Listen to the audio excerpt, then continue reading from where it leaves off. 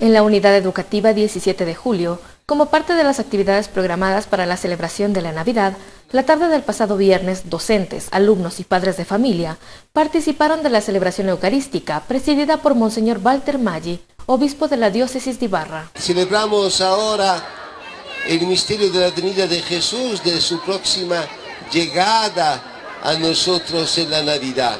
Y le traemos todas nuestras ilusiones, nuestros propósitos, nuestras esperanzas.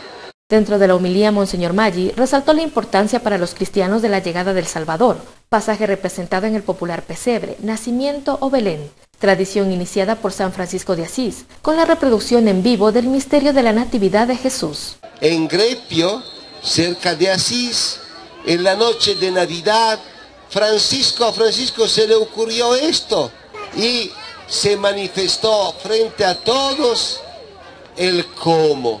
Y el cómo del nacimiento de Jesús fue la pobreza. De igual forma, el obispo se refirió a las palabras del Papa Francisco en torno a la tarea de la educación y formación de los jóvenes como una prioridad para toda la comunidad cristiana. El Papa entonces pide a nosotros los adultos, a las familias, a la escuela, a la entera sociedad, que afrontemos la cuestión juvenil como una emergencia.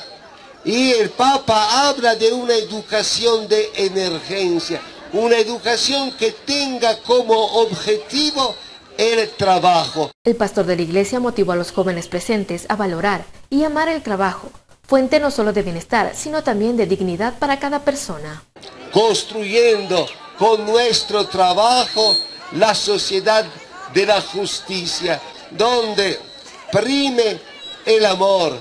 Esto es lo que nos dice el nacimiento, el nacimiento de Jesús en la condición de la pobreza que Él mismo ha escogido para revelarnos el Evangelio de la misericordia.